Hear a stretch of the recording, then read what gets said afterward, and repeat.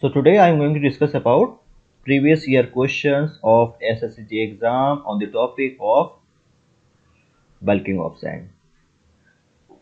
So the first question is bulking is option क्या है increase in volume of sand due to moisture which keeps sand particles apart. Second option increase in density of sand due to impurities like clay organic matter third option क्या है? It is remaining of sand so that it occupies minimum volume and last option compacting of sand so basically 2011 में question पूछा गया है. So basically bulking जो होती है that is bulking is increase in volume of sand due to moisture content which keep sand particular part so bulking क्या होता है? That is increase in volume of sand due to the moistures तो यहाँ पे correct option क्या होगा? That is option is A next question bulking of sand is maximum if the percentage of moisture content is of order of, option क्या? It is 5 10 5 8 10 15 basically two times question पूछा गया है 2011 और 2017 में। So so basically क्या है कि bulking of sand जो है, वो इंक्रीज करता है with increase the percentage of moisture content but एक सर्टेन लिमिट तक ठीक है? तो फोर टू सिक्स परसेंट पे मॉइस्चर कंटेंट पे बल्किंग ऑफ़ सैंड क्या होता है? डेट इज़ मैक्सिमम होता है ठीक है? सो so, यहाँ पे ऑप्शन तो फोर और सिक्स है नहीं तो अगर इसका एवरेज लेंगे या रफली लेते हैं तो क्या होगा? That is approx five percent तो यहाँ पे करेक्ट uh, आंसर क्या होगा? That is five percent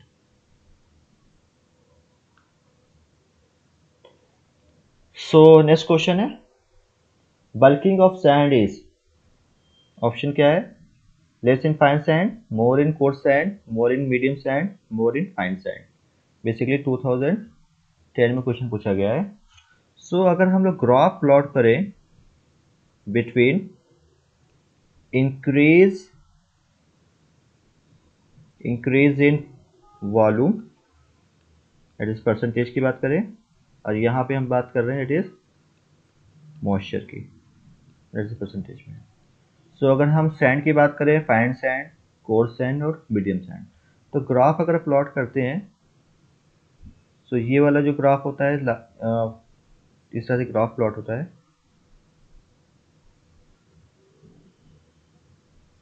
तो सबसे ज़्यादा जो बल्किंग होती है किसमें होती है? फाइन साइड में होती है then medium and last one is coarse है सो so, यहाँ पे पूछा गया बल्किंग ऑफ़ सैंड सबसे ज़्यादा किसमें होती है? That is more in fine sand तो करेक्ट ऑप्शन क्या होगा यहाँ पे? That is more in fine sand next question है। That is bulking of sand occurs due to option क्या है? Air in voids moisture in voids surface tension capillary reaction ये भी टू टाइम्स क्वेश्चन पूछा गया है। 2015 एंड 16 में। So so basically होता क्या है कि बल्किंग ऑफ़ सैंड किसकी वजह से होती है? मॉइस्चर कंटेंट की वजह से होती है। तो मॉइस्चर कंटेंट होगा तो उसकी वजह से क्या होगा बेसिकली मॉइस्चर कंटेंट की वजह से होगा बेसिकली कि फ्लेम ऑफ़ वाटर जो है around flame of water around sand particles हो जाते हैं। और मॉइस्चर मॉइस्चर क्या करता है? डेट करता है सरफेस टेंशन से, जिसकी वजह से एवरी पार्टिकल जो होते हैं सैंड के, वो क्या होते हैं? अपार्ट होते हैं away from the each others so main जो बल्किंग ऑफ़ सैंड होने का जो रीज़न uh, है वो किसकी वजह से होता है? बेसिकली मॉइस्चर एंड वॉइड्स की वजह से होता है। तो करेक्ट ऑप्शन क्या होगा? That is moisture and voids next question है the bulking the bulk density of aggregate is generally expressed as tonne per cubic metre kg per cubic metre kg per litre none of this ये 2017 में question पूछा गया है। So bulk density basically होता क्या है? कि it is it is defined as the mass of material mass of material of a given value that is mass of mass of materials in a given value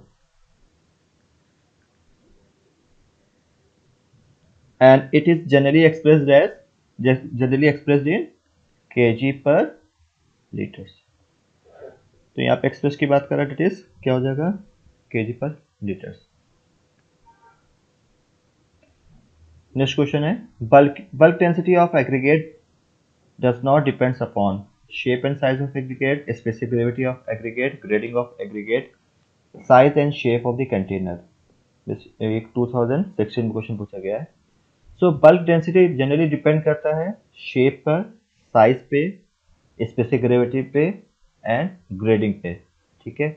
तो यहाँ पे पूछा गया है डज नॉट डिपेंड तो किस पे depend नहीं करता? That is shape and size and shape of the container तो करेक्ट ऑप्शन ये होगा it is option D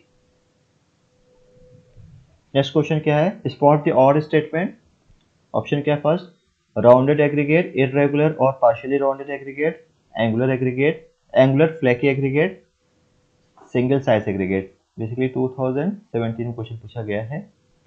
सो जो एंगुलर हो, एग्रीगेट होता है वो फ्लैकी नहीं होता जनरली और फ्लैकी एग्रीगेट जनरली एंगुलर नहीं हो सकता। तो यहाँ पे जो ऑड स्टेटमेंट होगा वो कौन सा होगा? Angular flaky aggregate option is C next question है। The types of aggregate of some nominal size which contain less voids when compacted are rounded spherical irregular flaky none of these so जो सबसे जो less voids होते हैं, वो होते हैं rounded aggregate में होते हैं। That is approximate thirty thirty percent voids होते हैं। और उसके बाद सबसे ज़्यादा जनरली जो होते हैं वो एंगुलर एग्रीगेट में वर्ड्स होते हैं। That is up to forty four percent तक। Up to forty four percent तो यहाँ पे लेट्स वर्ड्स की बात किया गया तो सबसे लेस्ट जो होंगे वो किसमें होंगे? दैट इज़ राउंडेड स्पेरिकल में। तो करेक्ट ऑप्शन क्या होगा? That is option A next question the most useless aggregate is one whose surface structure is option क्या है? Smooth granular glassy honeycombed and porous 2017 में क्वेश्चन पूछा गया है। सो ग्लेसी का जो सरफेस स्ट्रक्चर होता है, वो जनरली क्या होता है? Will not form good bond with the cement paste.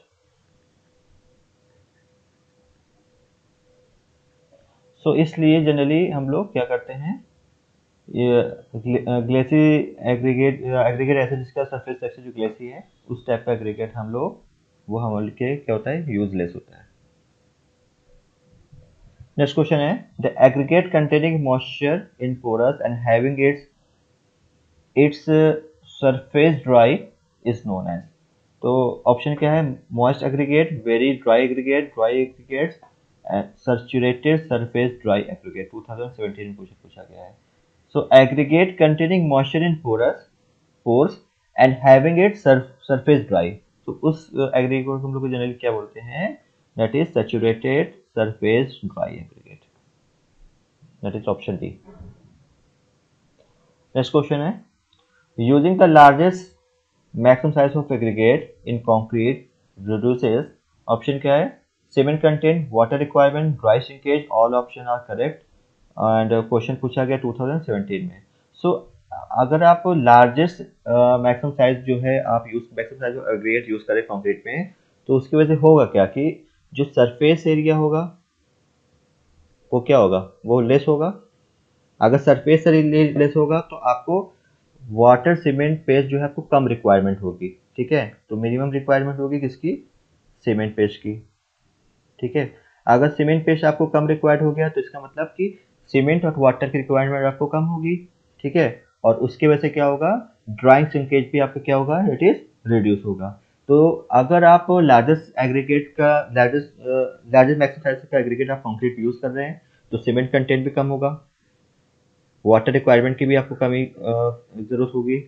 Drying shrinkage भी कम हो जाएगा। तो इसमें क्या क्या आएगा option that is all option are correct this is option D okay thank you